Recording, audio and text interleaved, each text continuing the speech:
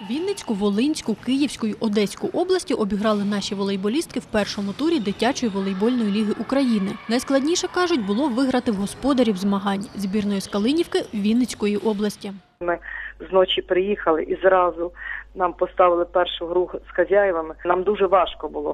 В першій партії, до речі, ми програвали 24-21. І дітки зібрались і виграли цю партію 26-24. Це для них була така радість, і для мене теж, що вони вперше утвердились як команда. І я повірила в успіх своїх дітей, що в такій нелегкій ситуації і вони е, зуміли вирвати цю перемогу. Наступні три перемоги нашим волейболісткам далися легше. Ігрову ініціативу вони утримували від початку до самого кінця матчу. У нагоді їм стали навички, здобуті в пляжному волейболі. літній період ми граємо пляжний, а зимовий ми граємо класичний волейбол, так як у нас відділення класичного волейболу.